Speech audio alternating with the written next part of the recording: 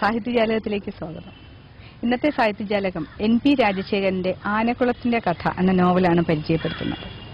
എഴുത്തുകാരൻ ഐക്യരാഷ്ട്രസഭയുടെ കീഴിലുള്ള അന്താരാഷ്ട്ര മാനവ വിഭവശേഷി വകുപ്പിന്റെ അധ്യക്ഷനായാണ് ജോലി ചെയ്യുന്നത്. കേരളത്തിന്റെ തനിമയും ഗ്രാമജീവിതത്തിന്റെ പശ്ചാത്തലവും മനസ്സിൽ നിന്ന് മാഞ്ഞു പോകാത്ത ഒരു എഴുത്തുകാരനാണ് അദ്ദേഹം. ഒരുപക്ഷെ ആധുനിക ഗ്രാമജീവിതം എന്ത് തരം മാറ്റങ്ങൾക്കാണ് വിധേയമായിരിക്കുന്നത് എന്നൊരു ആശങ്ക ഈ നോവലിലുടനീളം നമുക്ക് കാണാം. നിഴലും നിലാവും പോലെ ഒരു ഗ്രാമജീവിതം എന്ന ഒരു അടിക്കുറിപ്പ് ഈ ആനക്കുളത്തിന്റെ കഥ എന്ന നോവലിന്റെ പേരിന് താഴെയുണ്ട്. നിഴലും നിലാവും പോലെ വ്യാപിച്ചു കിടക്കുന്ന ഒരു ഗ്രാമജീവിതത്തിലേക്ക് എത്തിനോട്ടമാണ് ഈ നോവൽ.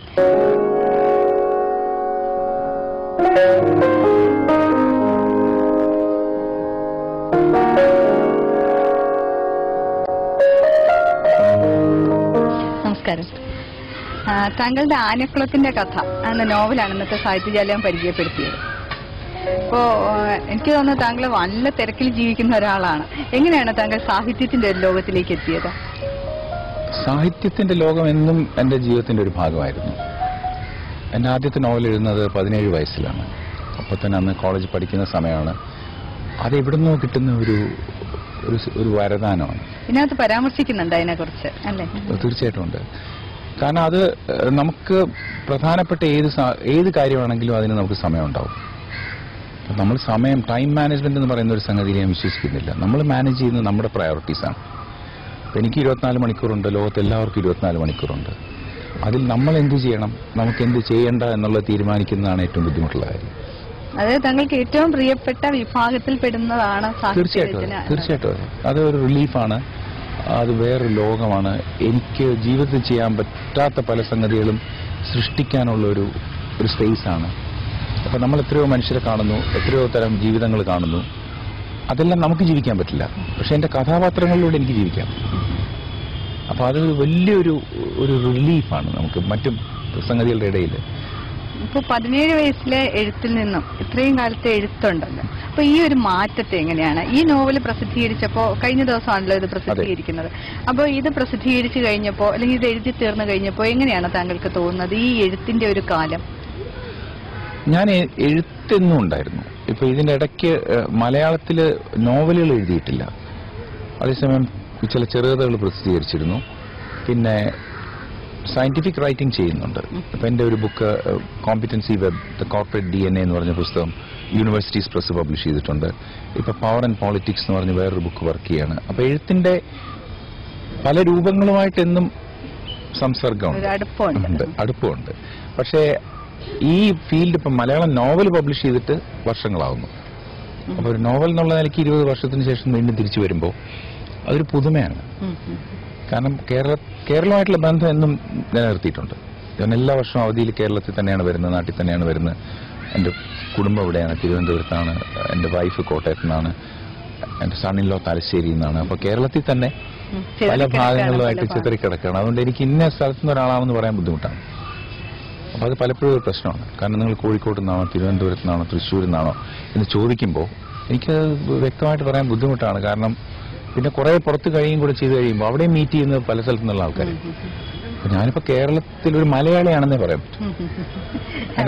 ഞാൻ ഈ നോവൽ വായിക്കുമ്പോഴൊക്കെ എനിക്ക് തോന്നിയ രണ്ട് ഒരു ഒരു പ്രധാനപ്പെട്ട സംശയമില്ല. ഭാഷയുടെ പ്രയോഗത്തിന്റെ ഒരു വ്യത്യാസമാണ്. ഇപ്പൊ അതിന്റെ ഉത്തരം തന്നെ ആയെന്ന് എനിക്ക് തോന്നുന്നു. കാരണം ഒരു മലയാളിക്ക് എന്താണ് പലതരം ഭാഷകൾ കേരളത്തിന്റെ അങ്ങോളം ഇങ്ങോളമുള്ള ഭാഷകൾ സ്വായത്തമായിരിക്കുമല്ലോ. അപ്പൊ ഞാൻ മറ്റൊരു സംശയം ചോദിക്കാൻ സാർ.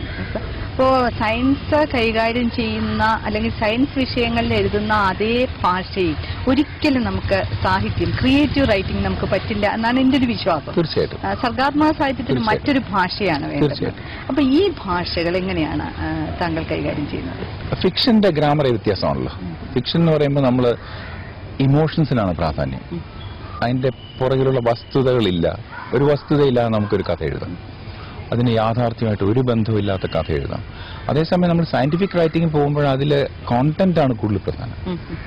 നമുക്ക് എന്തെങ്കിലും എഴുതാൻ പറ്റില്ല. വസ്തുതകൾക്ക് വളരെ പ്രാധാന്യമുണ്ട്. കാരണം ഒന്നിൽ റിസർച്ച് കാണും അല്ലെങ്കിൽ അതിന്റെ പുറകിൽ ഒരു ഡേറ്റ കാണും. അത് ശാസ്ത്രീയപരമായ ഒരു അനാലിസിസിന് ഉം.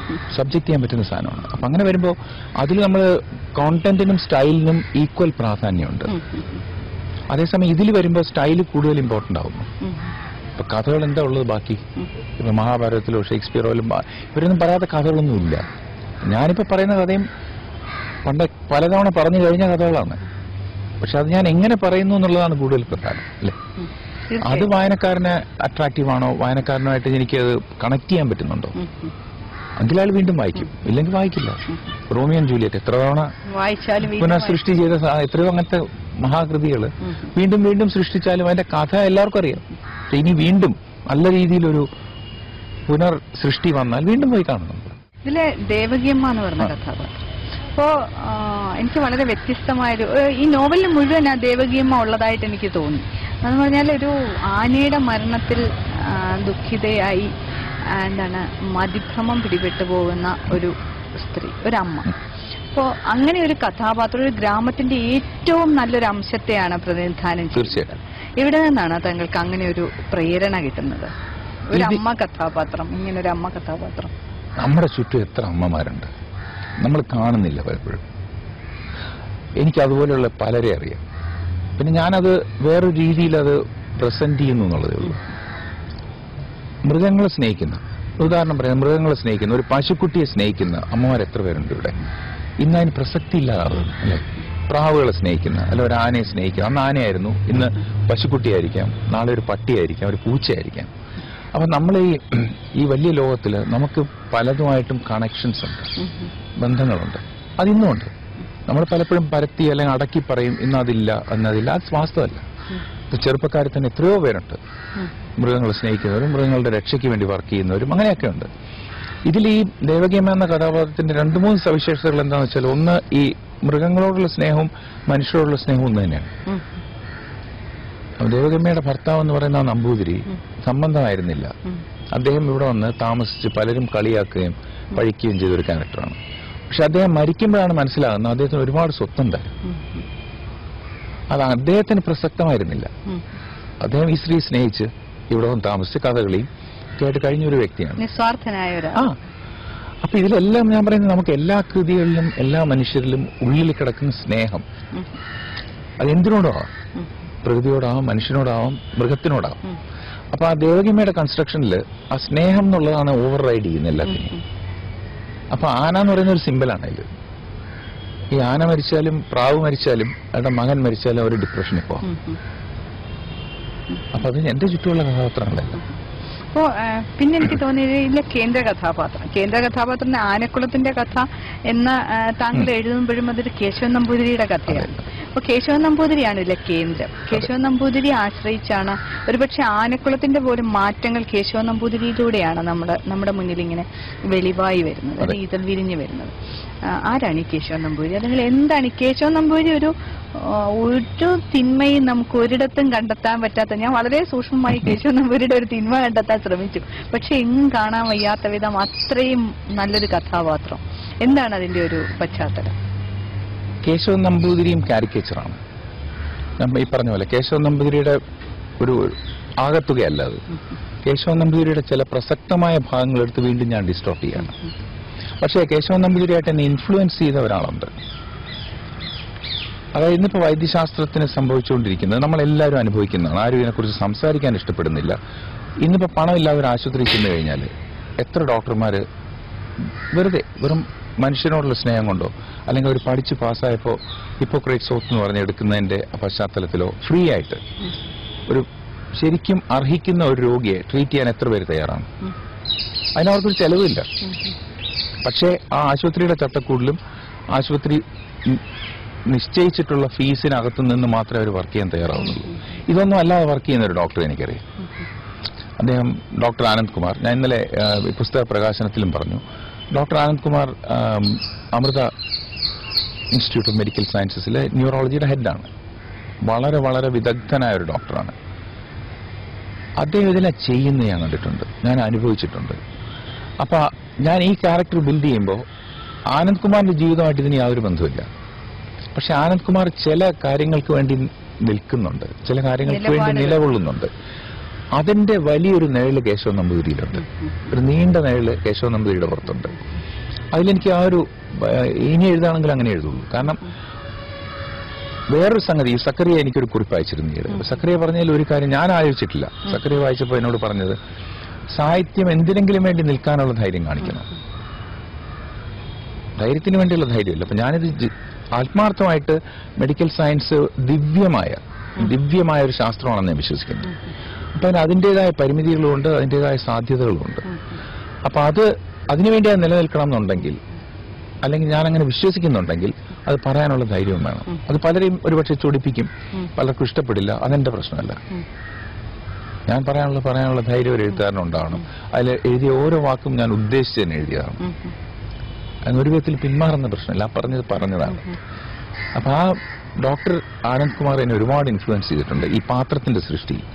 അദ്ദേഹത്തിന്റെ ജീവിതമായിട്ട് യാതൊരു ബന്ധവുമില്ല. ഇതുമായിട്ട് യാതൊരു കണക്ഷനും ഇല്ല പക്ഷേ വൈദ്യശാസ്ത്രം അതിന്റെ നിലപാട് അതെ. അതിന്റെ ഏറ്റവും ഉന്നത തലത്തിൽ വൈദ്യശാസ്ത്രം എല്ലാം എപ്പോഴും ഒന്നേ പറയാൻ പറ്റൂ. അത് ഹിപ്പോക്രേറ്റ്സ് ഉം. അപ്പൊ അനന്ത് കുമാറാണ് ഇൻഫ്ലുവൻസ് ചെയ്തിട്ടുള്ളത് ഈ ക്യാരക്ടറിന്റെ സൃഷ്ടിയിൽ. അപ്പോൾ ഈ ഇപ്പോൾ പറഞ്ഞല്ലോ ഇപ്പോൾ നമ്മൾ നമ്മൾ ഏറ്റവും കൂടുതൽ സാഹിത്യം അഭിമുഖീകരിക്കുന്ന ഒരു പ്രശ്നത്തെക്കുറിച്ചാണ് താങ്കൾ ഇപ്പോൾ പറഞ്ഞത്. സക്രിയയുടെ കുറിപ്പിൽ സൂചിപ്പിച്ചത്. കാരണം ഒന്നിനു വേണ്ടിയല്ല നമ്മൾ രചന നടത്തുന്നത്. വെറുതെ എന്തൊക്കെയോ എഴുതി വെക്കുന്നു. വായിക്കുന്നവർക്ക് വായിക്കാം ഇല്ലാത്തവർക്ക് വായിക്കാതിരിക്കാം. എന്നുള്ളൊരു. നിലപാടാണ് ഇപ്പോഴത്തെ എഴുത്തുകാർ എടുത്തിരിക്കുന്നത്. അങ്ങനെ ഒരു നിലപാടിലൂടെയാണ് എനിക്ക് തോന്നുന്നത് കഴിഞ്ഞ ഒരു വർഷം വരെയും പോയിക്കൊണ്ടിരുന്നത്. അതിനുശേഷം ഒരു മാറ്റം എഴുത്തിന് സംഭവിച്ചിട്ടുണ്ട് മലയാള സാഹിത്യത്തിന്. അത് താങ്കൾ ഈ പറഞ്ഞതുപോലെ മനസ്സിലാകാതിരിക്കുന്ന ഒരു ശൈലിയിൽ കൂടെ ആധുനിക എഴുത്തുകാർ പ്രയോഗിച്ചിരുന്നു എന്നാണ് എനിക്ക് തോന്നുന്നത്. അപ്പോൾ താങ്കളുടെ പുസ്തകത്തിന്റെ ഏറ്റവും വലിയൊരു പ്രത്യേകതയായിട്ട് എനിക്ക് തോന്നിയത് ഈ പുസ്തകം കയ്യിലെടുത്ത് കഴിഞ്ഞാൽ നമ്മളത് അവസാനിക്കാതെ മടക്കി വെക്കില്ല. അത്രയും റീഡബിൾ വായിക്കാനുള്ളൊരു വായിക്കണം. നമുക്കിത് വായിച്ച് തീർക്കണം. എന്താ ഇതിന്റെ അവസാനമായി പോകുന്നത് എന്ന് നമുക്ക് അറിയണം എന്നൊരു തോന്നൽ നമുക്ക് ഉണ്ടാകത്തക്ക വിധ അത്രയും. അപ്പോൾ ഇത്തരം ഒരു രചനാശൈലി സ്വീകരിക്കുമ്പോൾ താങ്കൾ ഈ ആധുനിക എഴുത്തുകാരുടെ രചനാശൈലി എങ്ങനെയാണ് നോക്കിക്കാണുന്നത്? ഞാനൊരു കൃതിയെ കാണുന്നത് അത് വായിക്കുന്ന ആളുമായിട്ട് അതിനൊരു കണക്ഷൻ ഉണ്ടാക്കാൻ പറ്റുമെന്നുള്ളതാണ്. വായനക്കാരും ഒരു ഒരു വായനക്കാരനല്ല. പലതരം വായനക്കാരുണ്ട്. പലതരം വായനക്കാർക്ക് പലതരം പുസ്തകങ്ങൾ ഇഷ്ടമാണ്. ഈ പുസ്തകം ഒരു സാധാരണ മനുഷ്യൻ ഒരു സാധാരണ വിദ്യാഭ്യാസമുള്ള ഒരു മനുഷ്യൻ അക്ഷരം കൂട്ടി വായിക്കാൻ അറിയാവുന്ന ഒരു മനുഷ്യന് വായിക്കാൻ പറ്റണം എന്നുള്ള ഉദ്ദേശത്തിൽ എഴുതിയതാണ് അത് ആ മനുഷ്യന് മനസ്സിലാവണം. ഞാൻ പറയാൻ ഉദ്ദേശിക്കുന്നത് എന്താണെന്നുള്ള ആ മനുഷ്യന് മനസ്സിലാവണം എന്നുള്ള ഉദ്ദേശത്തിൽ എഴുതിയ പുസ്തകമാണിത് ഇതിന്റെ മുമ്പ് എഴുതിയ പുസ്തകം ഇതിനു മുമ്പ് ഞാൻ ലിവിംഗ് ഡെബ് എന്ന് പറഞ്ഞ ഒരു ഇംഗ്ലീഷ് നോവൽ പബ്ലിഷ് ചെയ്തിട്ടുണ്ട്. അത് തീർത്തും വ്യത്യസ്തമാണ്. അത് സാധാരണ മനുഷ്യന് വേണ്ടി എഴുതിയ പുസ്തകമല്ല. അത് എനിക്ക് വേണ്ടി എഴുതിയ പുസ്തകമാണ്.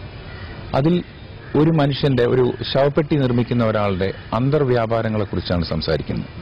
അത് ഫസ്റ്റ് പേഴ്സൺ നറേഷനാണ് ഞാൻ എന്ന വ്യക്തിയാണ് കഥ പറയുന്നത്. ഈ ഞാൻ ആരാന്ന് കുറെ കഴിയുമ്പോഴേ മനസ്സിലാവുള്ളൂ. അത് ആ കഥയ്ക്ക് കറക്റ്റാണ്. പക്ഷെ അത് വായിക്കുന്ന ആളുകൾ വേറെയാണ്. എല്ലാവരും അത് വായിച്ചെന്നിരിക്കില്ല. ആരും വായിച്ചെന്നേ ഇരിക്കില്ല. കുറച്ച് വായനക്കാരെ മാത്രം ഉദ്ദേശിച്ചു അത് വായനക്കാരെ വെച്ചല്ല. അങ്ങനെ അങ്ങനത്തെ ഒരു കൃതി വരുമ്പോൾ നമ്മൾ വായനക്കാരൻ മുമ്പിലില്ല. നമുക്ക് പറയാനുള്ള ആ കൃതിയുടെ പ്രസക്തി വേറെയാണ്. അപ്പൊ നല്ലതോ ചീത്തയോ എന്നുള്ളതിലൊക്കെ അതൊക്കെ മറ്റുള്ളവരുടെ തീരുമാനം. എനിക്കതിലും യാതൊരു അഭിപ്രായമില്ല ഞാനത് സൃഷ്ടിക്കുമ്പോൾ ഞാൻ നോക്കുന്ന വെച്ചാൽ എനിക്ക് ഈ സംഗതിയാണ് കമ്മ്യൂണിക്കേറ്റ് ചെയ്യാനുള്ളത്. അപ്പൊ ഈ ആശയത്തിന് പറ്റിയ രൂപം ഏതാണ്? അപ്പൊ അതിന്റെ രൂപം ഇതിന്റെ രൂപം ശരിക്കും പറഞ്ഞാൽ അതിന്റെ കവർ മാറ്റിക്കഴിഞ്ഞാൽ ഒരാൾ എഴുതിയതാണോ എന്ന് തന്നെ സംശയമുണ്ട് അത്രയ്ക്ക് വ്യത്യസ്തമാണ്. അത് മനഃപൂർവം ചെയ്യുന്നതല്ല ആ കഥയ്ക്ക് ആവശ്യമാണ്.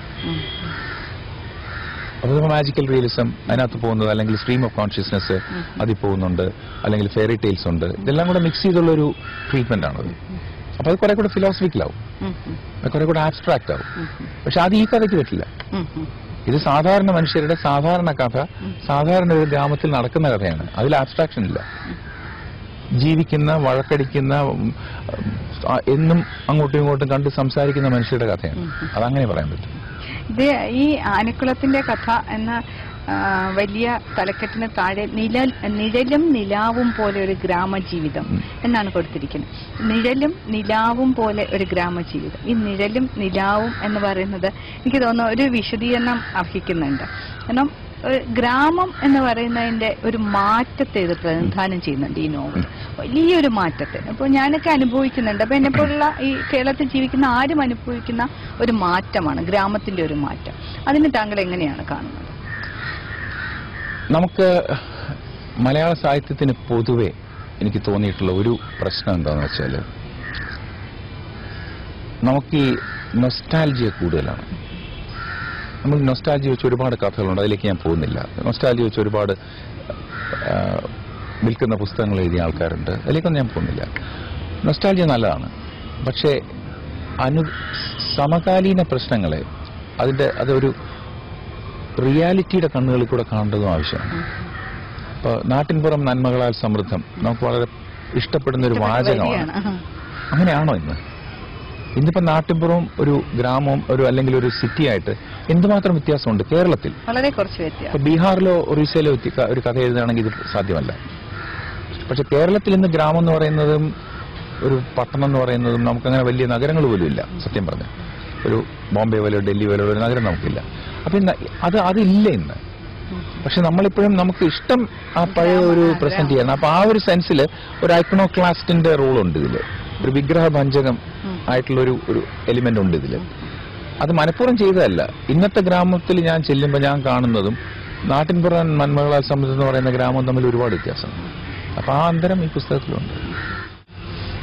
അടുത്ത രചന എന്തായിരിക്കും? അങ്ങനെ ചോദ്യം എഴുത്തുകാരനോട് അങ്ങനെ ചോദിക്കുന്നത് അത്ര ശരിയായ ചോദ്യമല്ലെന്ന് എനിക്കറിയാം.